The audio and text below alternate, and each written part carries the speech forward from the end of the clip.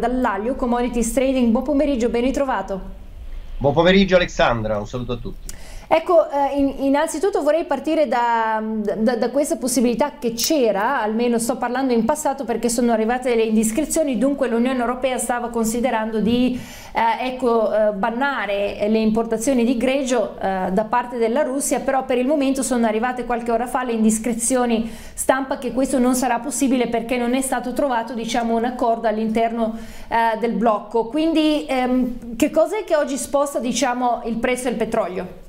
Ah, eh, allora mh, mm, fa un po' sorridere insomma sentire, anzi dovrebbe mh, mm, provocare una reazione avversa sentir parlare di ban totale delle forniture petrolifere della Russia perché se andiamo a fare due conti è vero che la Russia probabilmente eh, in questo momento già sta dando circa fra i 2 e i 3 milioni di barili in meno al mercato. Questo perché vi sono problemi logistici ehm, problemi di finanziamenti, ehm, problemi nello stoccaggio e anche di, consegna del petrolio. Insomma, nessuno va a ritirare petrolio in Russia in questo momento, tantomeno la Russia manda petroliere perché ehm, ci sono tutti i blocchi delle transazioni finanziarie e ovviamente il rischio sarebbe elevatissimo. Tutto questo ehm, si traduce appunto in un deficit ulteriore di offerta in un mercato che già prima eh, del, del conflitto era molto teso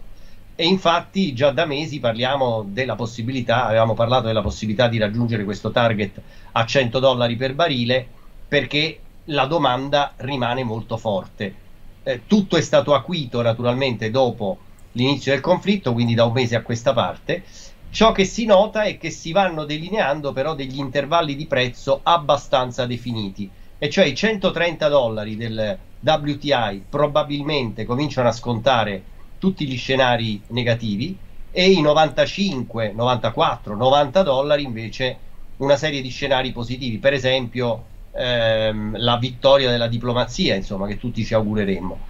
E quindi operativamente probabilmente gli operatori adesso guarderanno a questi due livelli di prezzo. In realtà si stanno configurando trading range un po' su tutti i settori critici, anche quello delle agricole che magari vediamo successivamente. Tornando al petrolio, eh, se andiamo a fare una, pro- una proiezione nel medio-lungo periodo, la domanda rimarrà forte e potrebbero mancare all'appello circa 6-7 milioni di barili al giorno se continuasse questo eh, blocco che viene intimato continuamente al petrolio russo. Russo. Come si può ovviare? Beh, eh, c'è una capacità inutilizzata dell'OPEC di un milione e mezzo di barili al giorno, soprattutto perché l'Arabia Saudita può produrre di più. C'è la questione Iran, circa 1,4 milioni di barili al giorno, il Canada circa mezzo milione di barili, e eh, però vengono meno appunto i 3 milioni della Russia e eh, la produzione non OPEC eh, di 2 milioni. Insomma, al netto c'è un grosso deficit. Questo che cosa può significare? Prezzi ancora più alti nei prossimi mesi barra anni, al netto di quello che sarà la, la soluzione del conflitto, e una possibile distruzione della domanda. Come sottolineavi tu, Powell ha detto che eh, la, la recessione non è nell'ordine delle cose, insomma non è pianificata, non è in agenda, nonostante la, l'aggressività della Banca Centrale Americana, almeno a parole nel voler alzare ulteriormente i tassi, però è evidente che a un certo punto subentrerà una, dis- una distruzione della domanda se i prezzi dovessero tornare, per esempio, ai massimi del 2008 o anche, eh, eh, o anche superarli, considerato che abbiamo un cambio differente nei confronti delle altre valute, anche nei confronti dell'euro, per cui insomma i 148 eh, del 2008 oggi corrisponderebbero ai 190 dollari all'incirca. Quindi insomma la situazione è nettamente rialzista ancora per il futuro. Ecco, volevo semplicemente capire perché avevi menzionato l'Iran, però ehm, è possibile effettivamente sostituire il greggio russo con quello dell'Iran? Ovviamente stiamo parlando ipoteticamente per ora. Beh, l'Iran è una delle, delle, opzioni perché insomma i colloqui eh, sono andati avanti, adesso negli ultimi giorni non se ne parla più, ma fino a due settimane fa sembrava che ci fosse l'87-90% di probabilità che l'Iran tornasse sul mercato e quindi si eliminasse l'embargo, secondo le fonti iraniane. Un'altra opzione è quella del Venezuela, anche lì sono stati eh, avviati colloqui, quindi insomma si cercano fonti di approvvigionamento alternative, però tutti, tutti gli attori di mercato sanno che non si può eliminare completamente la Russia. La Russia produce attualmente 11,1 milioni di barili al giorno, secondo gli ultimi dati, in flessione rispetto a qualche mese fa quando aveva raggiunto gli 11,9 milioni di barili. Anche la Russia ha gli stessi problemi degli Stati Uniti di mancanza di investimenti che eh, negli ultimi anni sono totalmente eh, saltati. Insomma, dalla crisi del 2014 eh, le compagnie petrolifere e anche i governi eh, che mh, hanno compagnie statali non investono più nella ricerca, non investono più nella, nelle trivellazioni, anche perché eh, si sa insomma, che si dovrebbe andare verso le energie rinnovabili verso le energie alternative. Ecco, scusami, hai detto una parola importante, energie rinnovabili, energie alternative e target net zero che è giusto ricordare che sono target veramente di lungo termine, stiamo parlando di 2050-2060 però considerando il contesto di oggi dove il vento purtroppo non riesce a darci l'energia, il sole per il momento non riesce ad essere uh, fonte di energia sufficiente, ehm, intendo dire nella nostra vita quotidiana, specie nel, durante l'inverno, ecco a tuo avviso questi target verranno per forza messi un pochettino da parte? Beh sicuramente c'è stata una grande pausa e una grande riflessione eh, perché si era partiti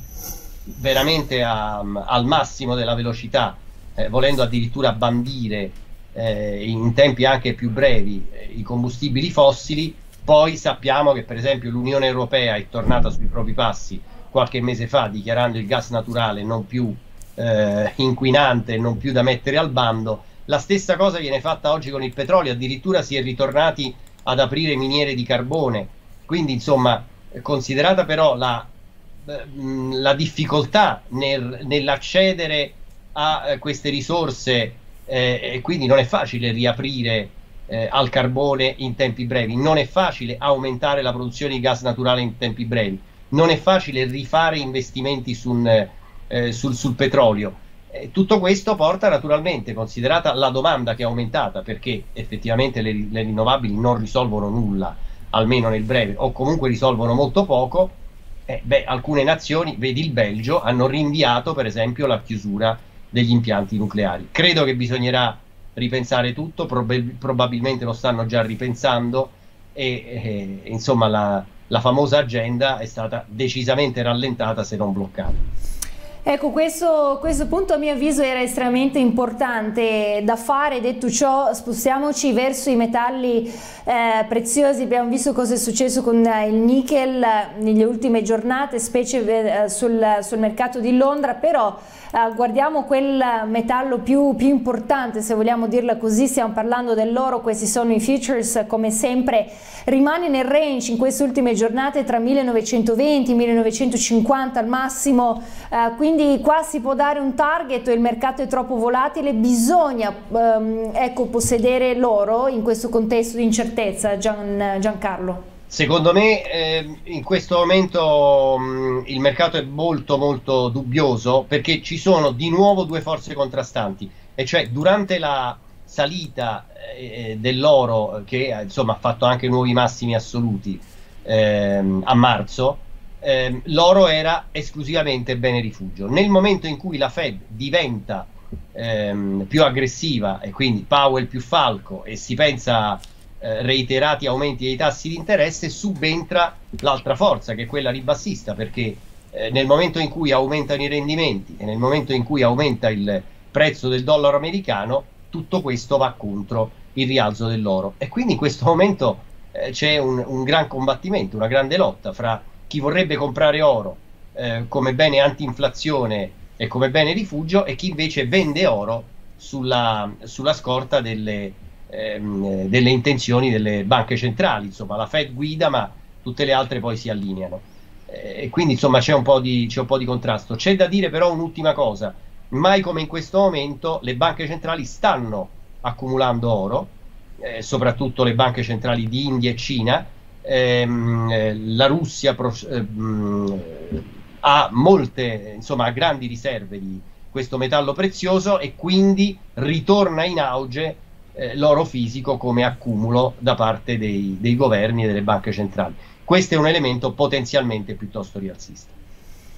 Ottimo, andiamo a vedere rapidamente anche eh, Palladio e Platino, soprattutto perché vorrei chiederti come mai eh, il Palladio oggi cede il 4%, ci siamo persi qualcosa? No, non ci siamo persi niente, semplicemente oggi eh, se facciamo caso eh, questi rialzi e questi ribassi avvengono eh, sui vari settori critici all'unisono, e cioè mentre ieri avevamo eh,